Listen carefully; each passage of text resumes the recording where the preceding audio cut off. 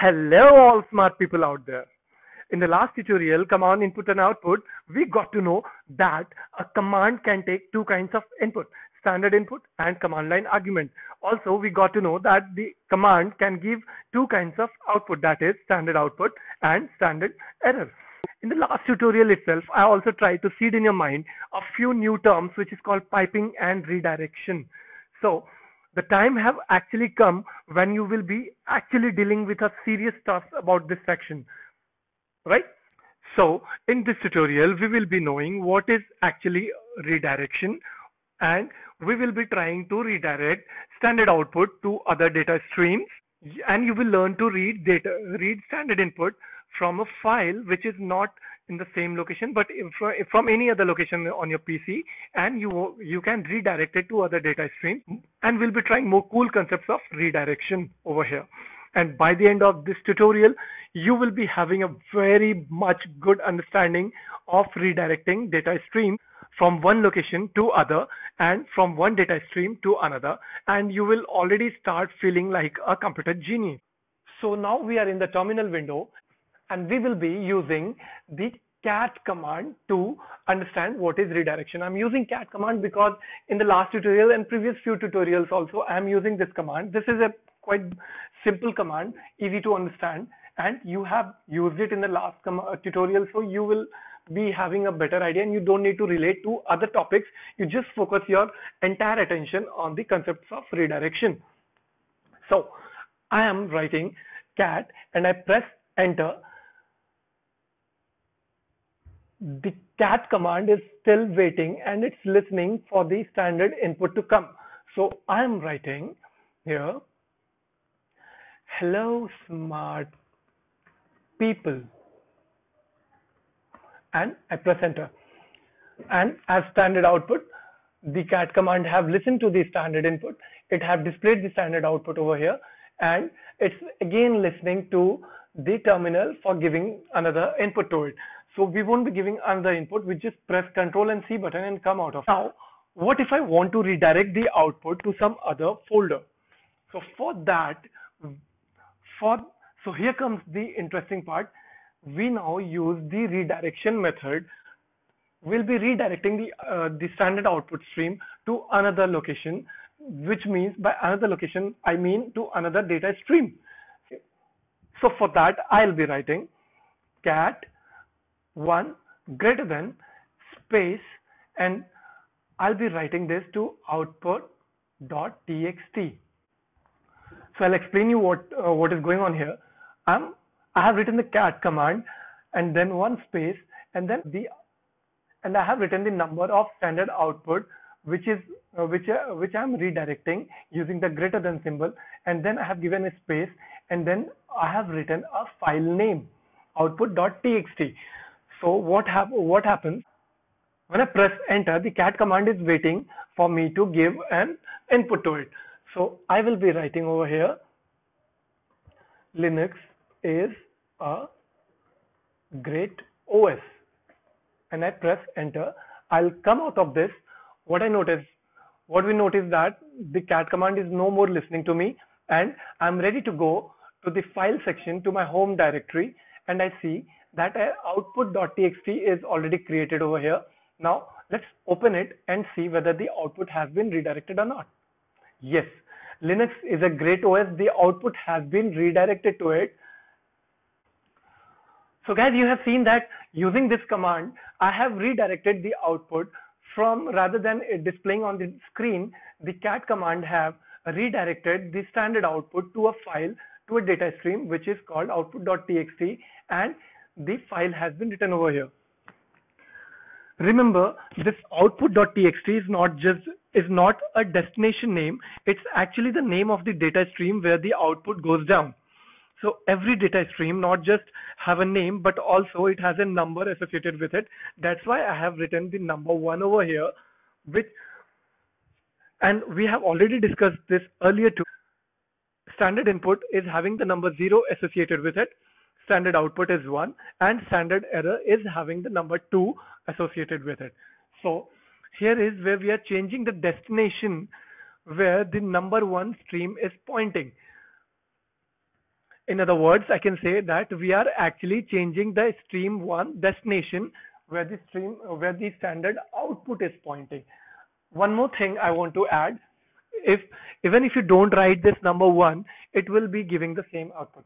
Like cat greater than symbol space output dot txt and I write Linux is a great OS and I just come out of this I reload it and I have the same output.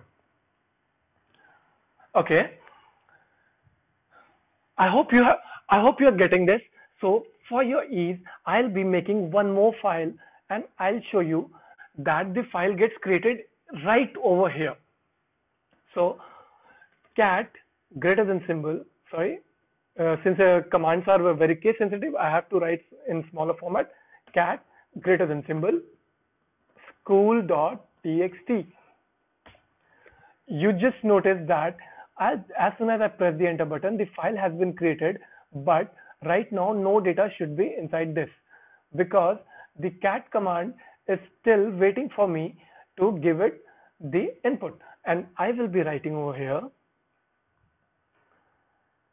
I am going to school and I have pressed enter. I'll come out of this and I'll open the school.txt again. I'm going to school. So I have got the output over here. Now just let's add one more text and see what the output comes. Cat greater than symbol school.txt and hello friends. This is amazing. And I press the enter button. Let's come out and we'll go to school.txt we reload it and oh what just happened? This cat command have overwritten what was earlier written so i'm no not anymore going to school i'm just saying here hello friends this is amazing so what have done what have i done over here so this is actually what, so what I have done actually is called truncating. So redirection by default will overwrite whatever is present in the file. And this process is having a fancy name, which is called truncating. So to avoid truncating, how we do it, I'll show you over here right now. I'm using again the cat command, but instead of single greater than symbol, I'll be using greater than greater than and school.txt sorry school.txt and I write over here hello good people and I press enter and I come out of this command line and I reload the file to see hello good people so this time I have appended the data rather than trunking the data so this is how you do it.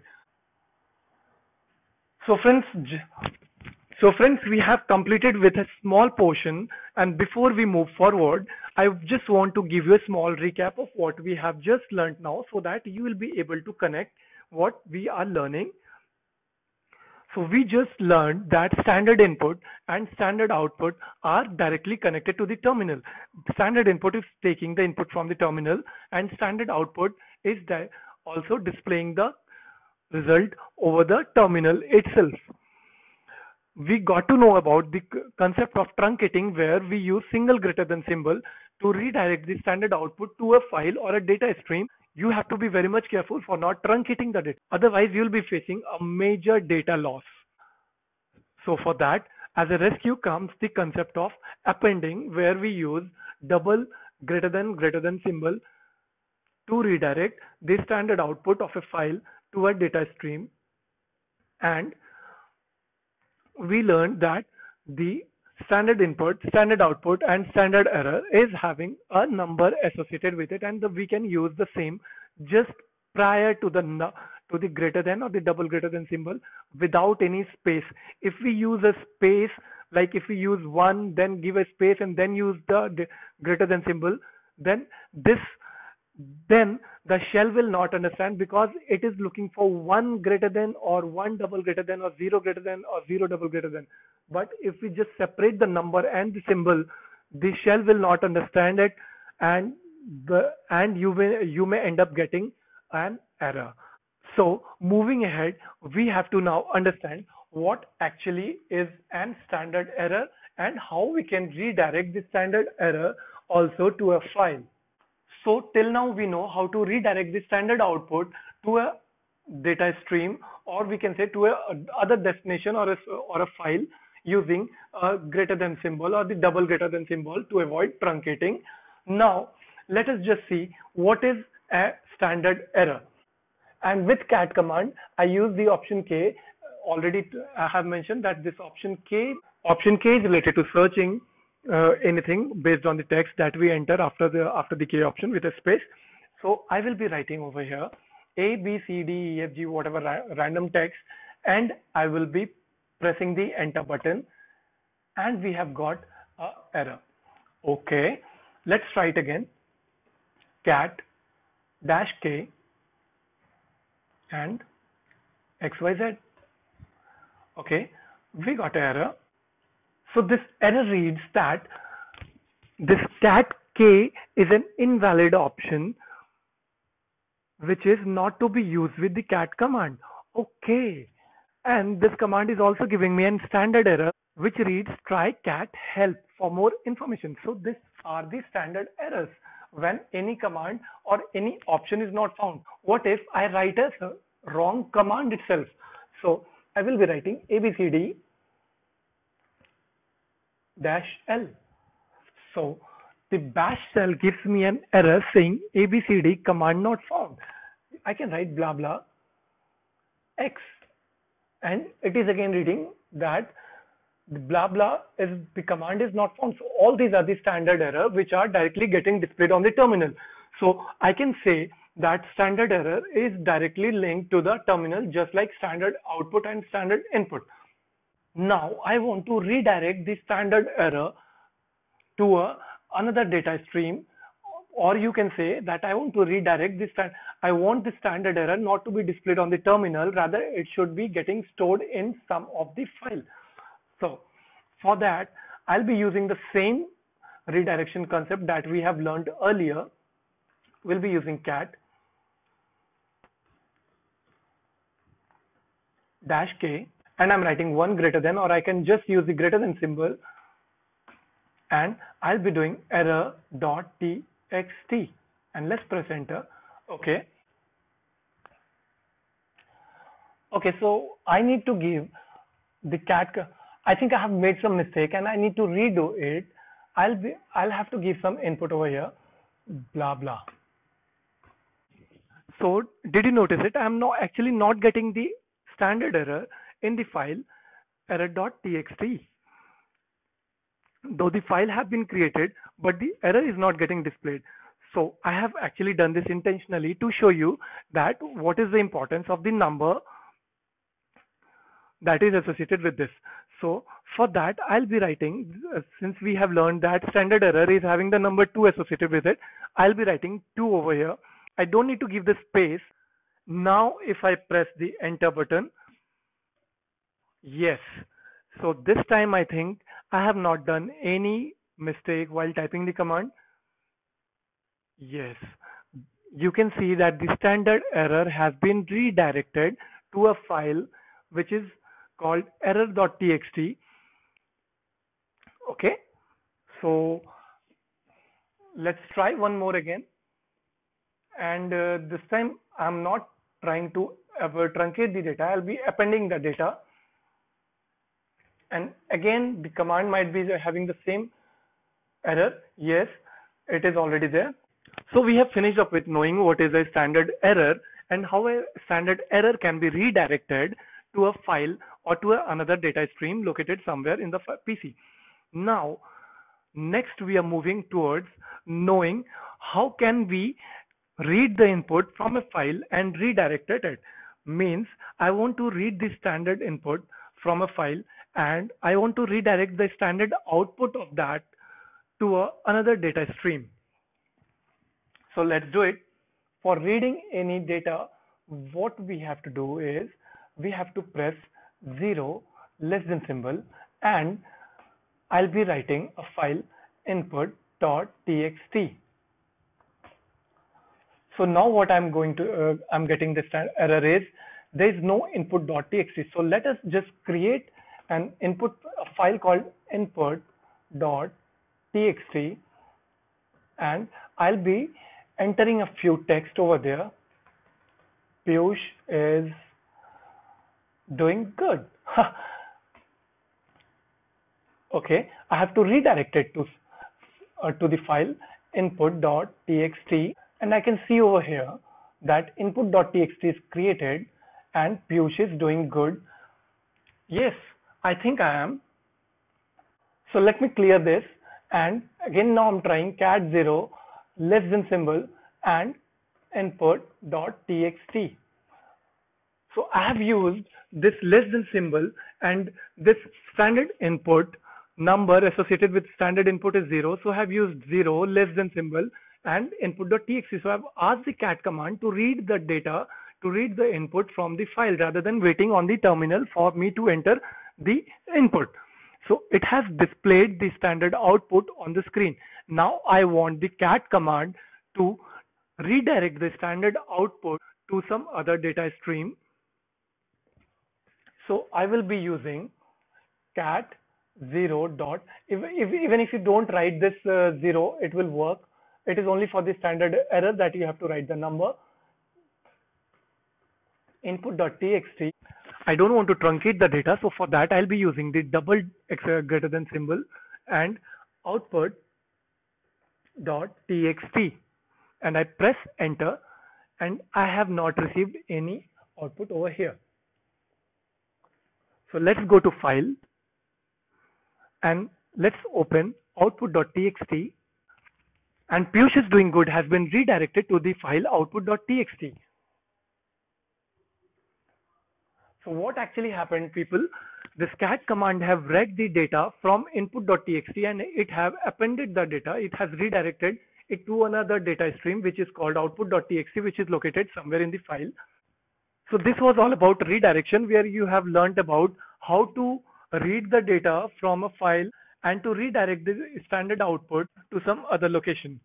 Now, I'm going to show you a very cool thing over here. I want to open the terminal again. I'll be actually opening a new window. And in this new window, I'll be running a new command. This is totally new command, so you can just note it down. The command is called tty. This command gives you the location of the terminal. So this slash dev slash pts slash one, this is actually the location where this terminal window is available. And terminal windows actually have different uh, locations. So you can uh, run the same command over here and you can see that the terminal window over here is having a different number. So now I actually want to read the data from output.txt file and I want to redirect the output from this uh, from this to a new data stream which is not a file but it is actually the location where the, this terminal is available. So I'll be writing the location slash dev slash pts sorry slash one and I want you while I'm pressing enter I want you to see over here and just see how the data will get displayed. So I'm pressing enter button now. Yes, so this was what I wanted to show you. You can even redirect one data from one terminal to another and you can just keep this loop going on. So that was all about the redirection concept where you have learned how to redirect a standard output to a another data stream and further into another file and also to a terminal window. We learned redirecting standard output and standard error to another destination, which uh, is actually another data stream you got to know about the concepts of truncating and appending data while performing the uh, redirection, where you have used the single greater than symbol and the uh, double greater than symbol for truncate and appending respectively. You got to know that standard error is directly connected to the terminal. And you also got to know how to read input from a file by using the less than symbol and to redirect it to the other a data stream located in some other file. And you also learned how to redirect the standard output to another terminal window. You can know the location of the terminal window by pressing the TTY command and press enter to get the terminal window. So now we have been we have completed with uh, the redirection chapter and now we'll be moving ahead and in the coming chapters we'll be learning about the piping fundamentals where I'll be teaching you how to redirect the standard input from one command to the standard output of another command using the piping concept. And piping is actually a very powerful tool. Once if you understand the piping concept, you will be able to make complex commands on your own and this will give you a real feeling of a computer genius and a very good Linux learner. So I'll be seeing you in the next tutorial. Thank you.